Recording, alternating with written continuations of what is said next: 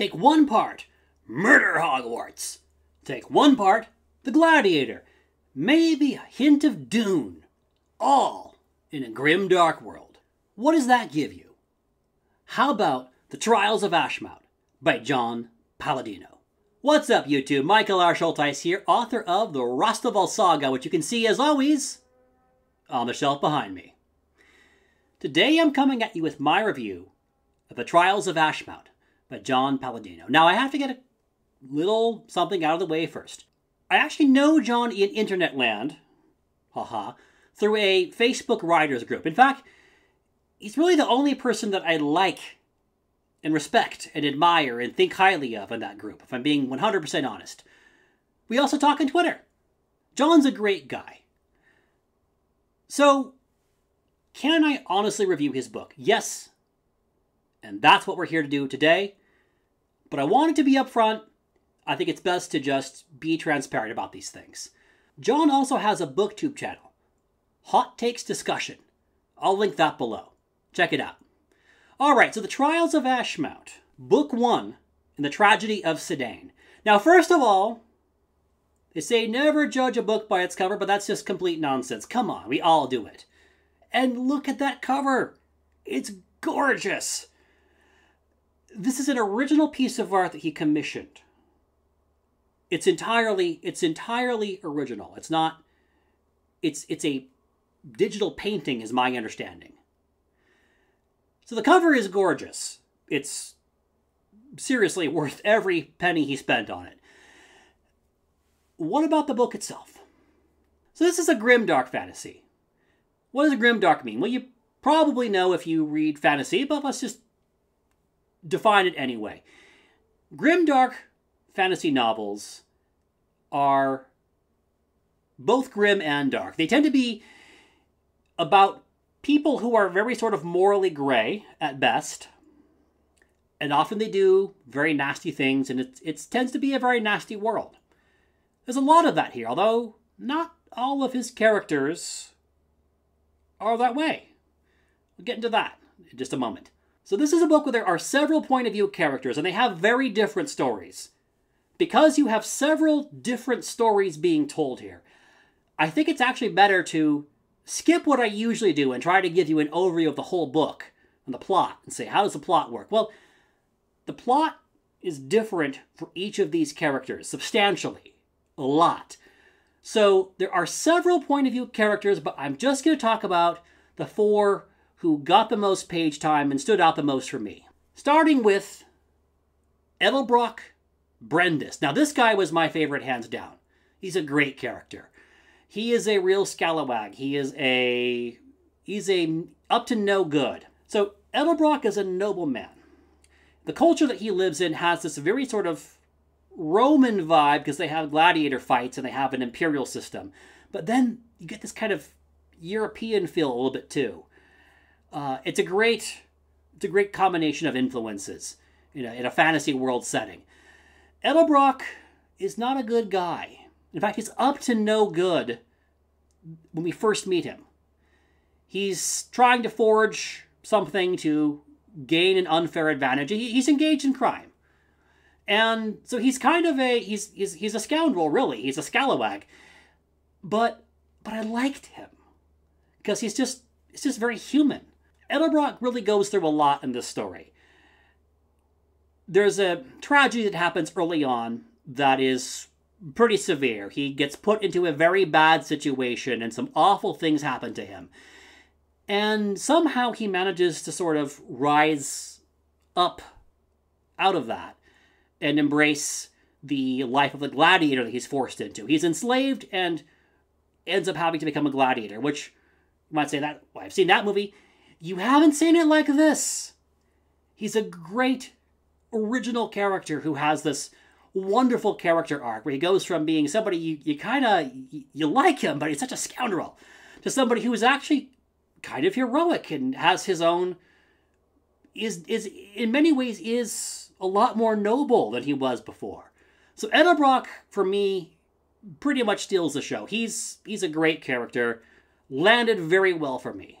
All right Another character, Villic of the Splintered Manes. He's a he's a warrior in a desert culture. Now I get kind of a Arabia before the rise of Islam vibe in a fantasy setting, of course. I don't know, John. If you're watching this video, I'd love for you to comment on where you got this the ideas for this culture because it feels very almost Bedouin, but then they have shamans and they have this very kind of polytheistic religion, and it's a it's a cool combination. It's really neat. So Villic is on his own journey with his people. There's some magic that starts to sort of surface for him, and he doesn't understand it.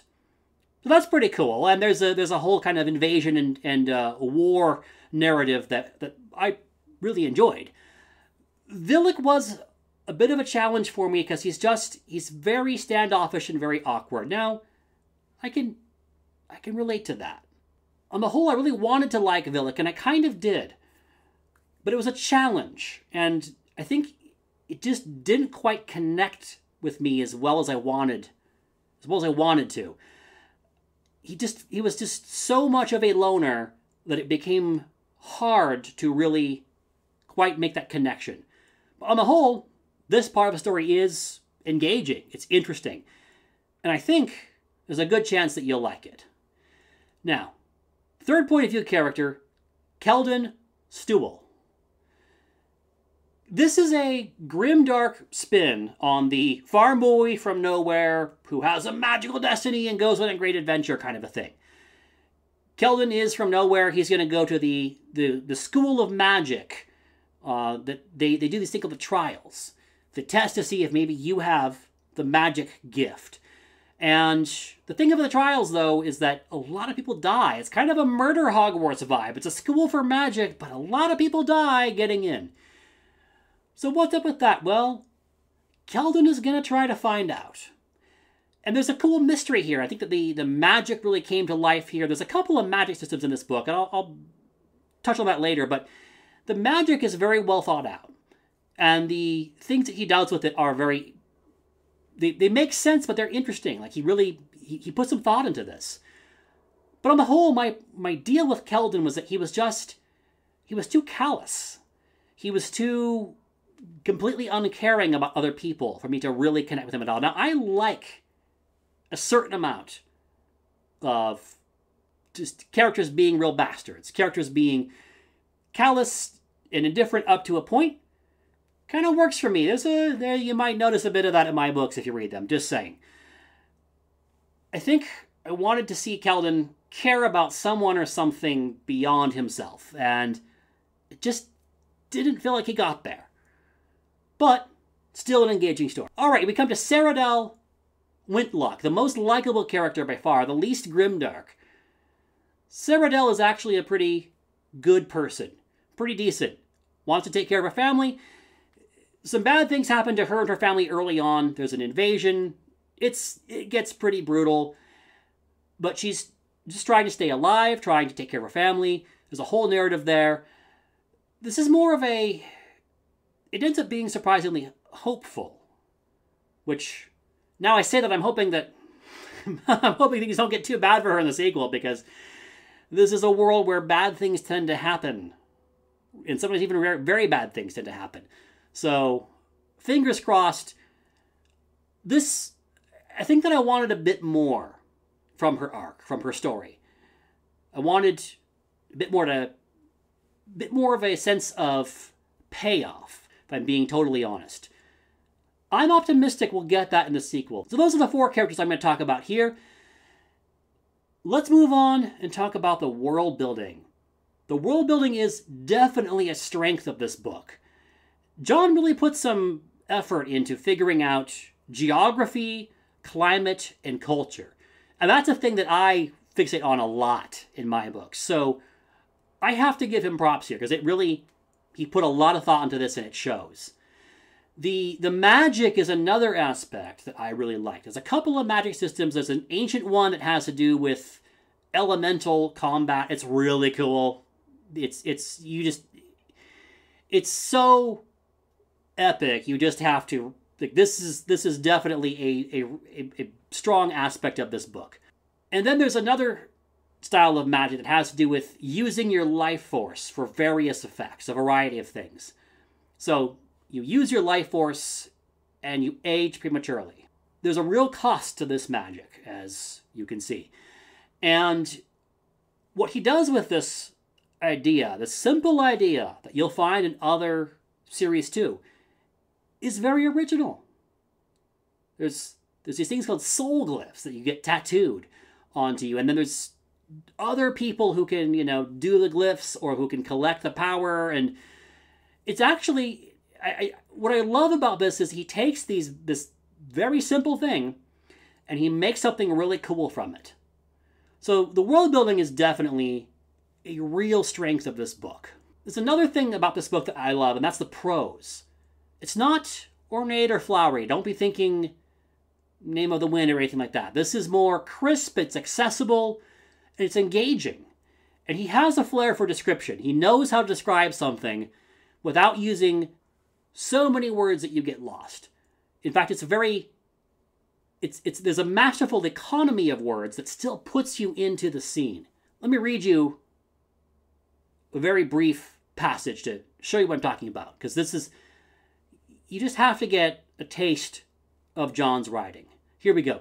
Coarse sands, the hot, beating, unforgiving sun, a camel between his thighs, curved scimitar blade hanging from his belt, and a spear balanced in his lap. An oasis of water in the middle of nowhere, a pause of life, amid the harsh deserts of Vesia. That's a that is a great description.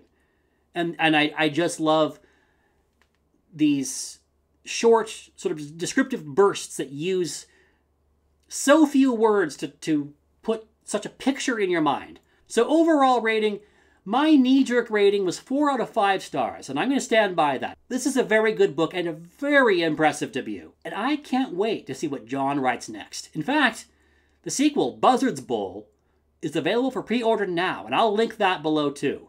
So as usual, who is this book for? Who is it not for? Do you like Joe Abercrombie, Mark Lawrence, other grim dark authors? Maybe George R. R. Martin? get this book. It is totally for you. It's perfect for you. Mr. John Palladino may become one of your new up and coming authors to watch. Who is this book not for? Well, if you like conventional heroism in your books, give this one a pass. Maybe you like love, romance, honor, that's not this book. If you like people not getting stabbed, in other words, if you don't like people to get stabbed, definitely give this one a hard pass. With all of that said, if the Trials of Ashmount is the grim dark fantasy that you're looking to add to your TBR, check it out. I'll link it below. Thank you so much for watching, and I will hope to catch you on the next video.